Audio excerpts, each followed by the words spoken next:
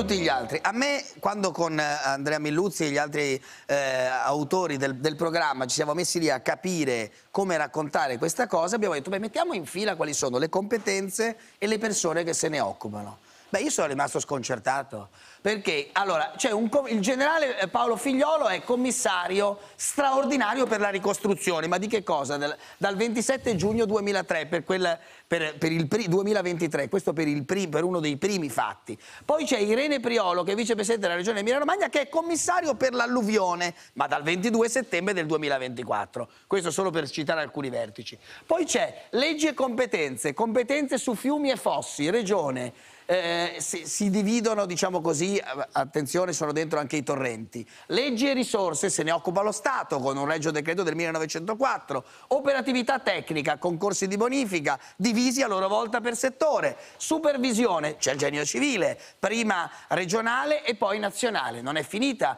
Se gli argini sono anche strade, c'è una co-competenza che va divisa con l'ANAS.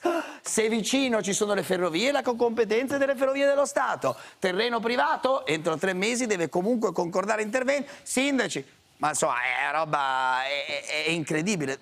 Non bastano tre schermi per raccontare con tutte queste competenze, tutte queste persone, eppure l'immagine è quella lì. No, Sbaglio qualcosa? No, è un elenco puntuale di quello che oggi la frammentazione della gestione del territorio porta il territorio a non essere assolutamente eh, gestito. E questo è uno dei problemi che dovrebbe essere la priorità di qualunque governo, lo dico dal punto di vista indipendentemente dalla collocazione politica.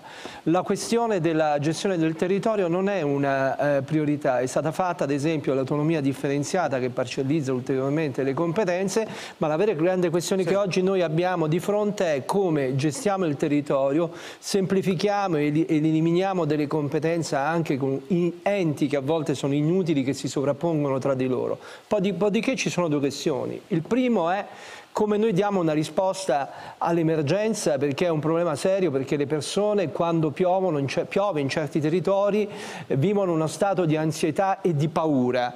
Ecco, penso che debba esserci un'iniziativa eh, molto forte che faccia spendere le risorse che sono disponibili perché un altro aspetto... non servono nuove leggi, diciamolo chiaramente, io non lo so, serve un... Un, un... elemento di... Io sì, una legge la, io la vedo, e come se la vedo? Eh. Perché in questo paese non è possibile che il consumo di suolo viaggia a quasi 3 metri quadri al secondo e che si costruisca in area di rischio idrogeologico e norma. che si costruisca in fiumi tombati dove persone nemmeno sanno di aver comprato la casa in un fiume che è tombato. Mm. Cioè noi dobbiamo recuperare una prospettiva diversa nel nostro paese, ma mi rendo conto che quello che dico sono parole. Il punto che dovrebbe essere anche che da parte del del, governo, e lo dico non perché al governo c'è Giorgia Meloni, lo dico governo come entità statuale, diciamo neutra, che ha una funzione, deve capire che questa è la priorità della priorità. Stiamo parlando dell'Emilia Romagna, in Calabria ci sono frane che hanno coinvolto intere abitazioni,